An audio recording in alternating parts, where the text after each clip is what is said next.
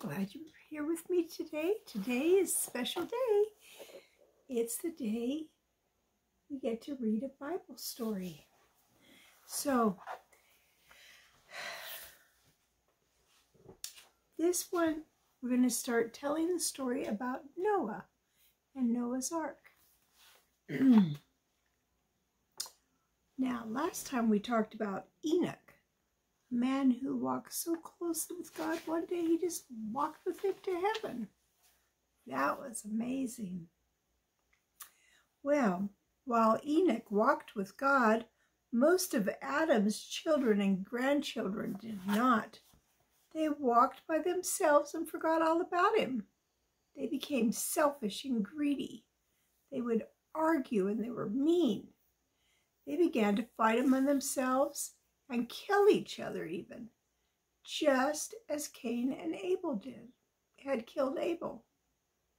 It's hard to understand how things could have got so terrible in such a short period of time after creation.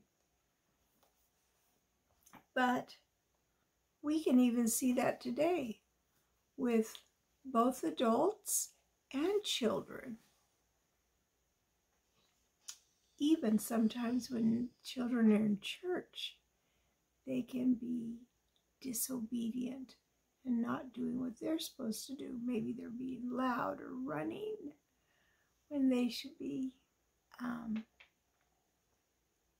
you know, just being calm. So, and sometimes we just see people be mean to each other say bad things to each other or hit each other, sometimes even worse. Well, that's the way it was back in the early days of this world. As people drifted farther and farther from God, they drifted farther and farther towards sin. Satan, who in the form of a serpent had deceived, that means tricked, Adam and Eve, he was really glad about all this. He had planned to spoil God's plan for a happy, beautiful world. And I'm afraid it was working.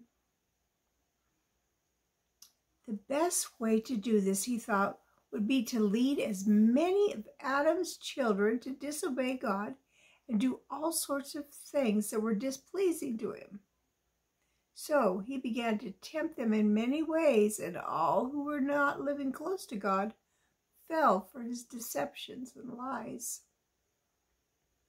Adam and Eve had learned the cost of sin, and they tried to tell their family, but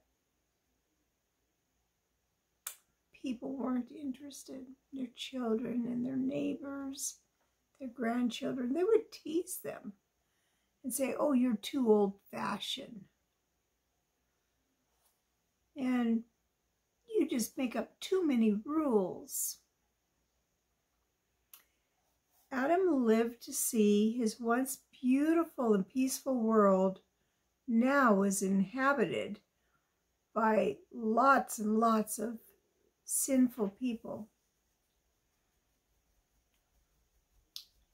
Just before he died, he heard Enoch, the man who walked with God, rebuke the ungodly deeds, things that they were mm. doing, and the complainers and the gripers, people that were walking after their own lusts.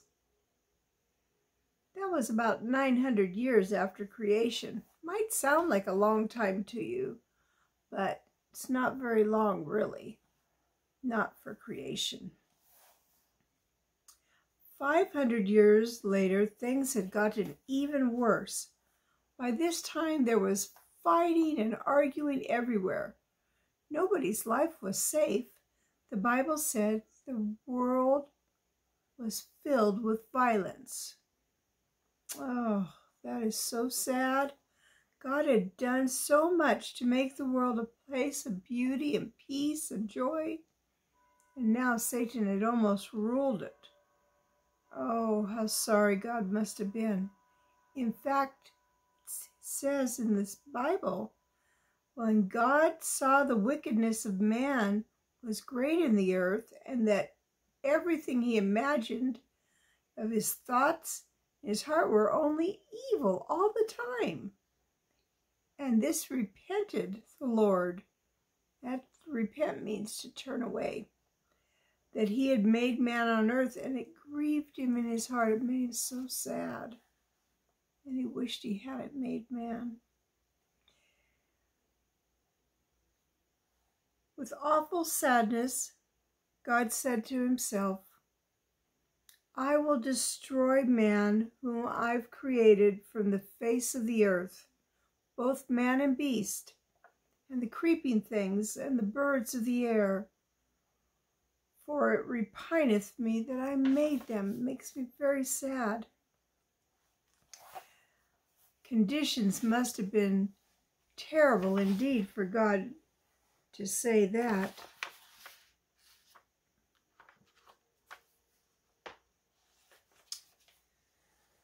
How it must have hurt him to think about destroying all of his creatures and the beautiful things he'd made only a little time before. Yet, even now, his heart, full of never ending love, held back on carrying the dreadful judgment even though it was necessary.